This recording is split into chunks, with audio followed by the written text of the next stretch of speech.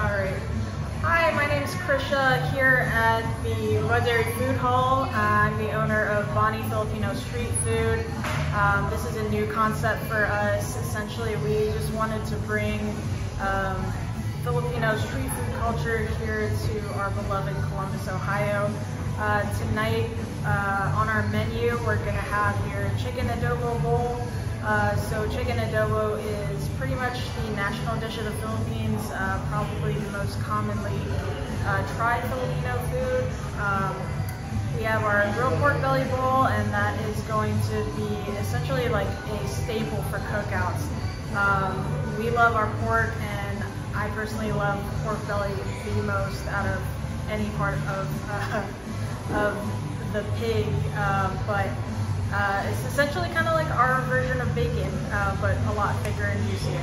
Um, and then finally, we have our grilled um, veggie skewers. We have eggplant and bok choy.